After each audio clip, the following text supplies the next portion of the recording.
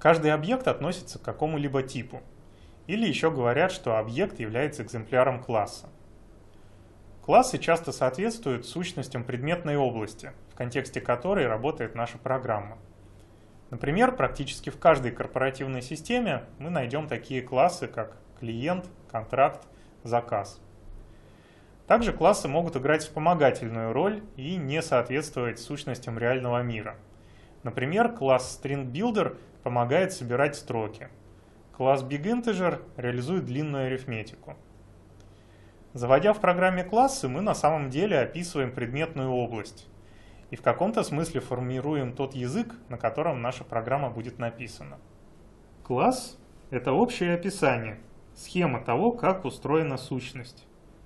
Например, у клиента должно быть имя, дата рождения, домашний адрес. А объект это конкретный экземпляр класса с конкретным состоянием. Например, клиент по имени Василий Пупкин, 1990 года рождения, проживающий в Урюпинске. В программе может быть много клиентов со своими именами и адресами, но все они будут устроены одинаково, так как описано в классе. Объект может принимать сообщения, в большинстве языков, в том числе и в Java, отправка сообщения объекту реализована как вызов метода этого объекта. Набор поддерживаемых сообщений описан в классе и соответствует тому, что нам требуется от данной сущности.